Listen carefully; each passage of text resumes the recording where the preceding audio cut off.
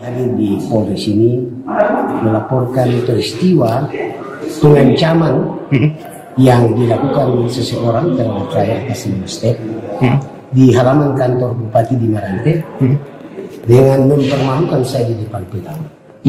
Dan saya tidak merasa, saya sangat merasa tidak nyaman dan saya merasa bahwa saya dalam uh, kondisi diancam. Oleh karena itu sebagai warga negara saya harus datang melaporkan peristiwa ini kepada pihak kepolisian. Dan tentu saya berharap bahwa proses hukum yang akan Sekian terima kasih. Tidak ada. Ya jelas memang saya katakan bahwa kalau Pak Bupati mau cari masalah, ya jangan di sini.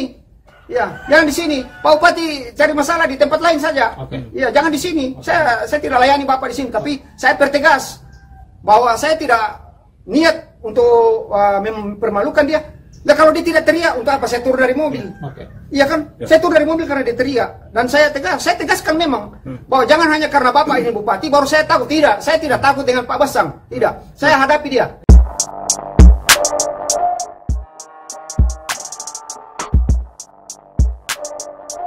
Bupati Toraja Utara, Sulawesi Selatan, Yohanis Basang melaporkan warganya bernama Steve Raru ke polisi. Yohanis tak terima dengan perlakuan Steve yang mengajak dirinya berkelahi di depan umum.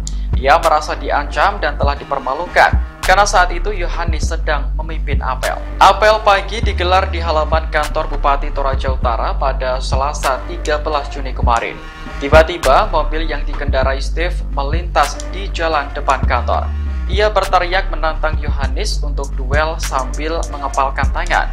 Yohanis yang saat itu sedang memimpin apel merasa telah dipermalukan. Ia lantas melaporkan Steve ke Polres Toraja Utara atas dugaan pengancaman. Pasalnya, saat kejadian, Steve juga membentak serta mengancam Yohanis. Tidak diketahui secara pasti apa penyebab Steve melakukan tindakan itu kepada Bupati. Namun Steve berdalih melontarkan kalimat itu hanya untuk membela diri. Pasalnya, ia dikepung para pegawai setelah menurunkan penghalang sinar matahari di mobil. Adapun saat ini, Polres Toraja Utara masih melakukan penyelidikan terkait kasus tersebut.